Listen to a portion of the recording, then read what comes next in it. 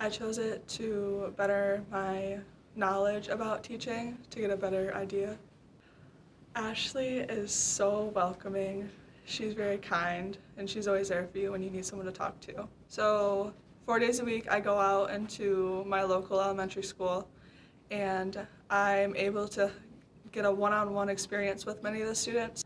I would say, even if they're skeptical, try it because you never know if you do want to work with kids. It might not be for teaching, it might be for like a counselor, and you're able to experience that sooner rather than later, which would be a lot better for them.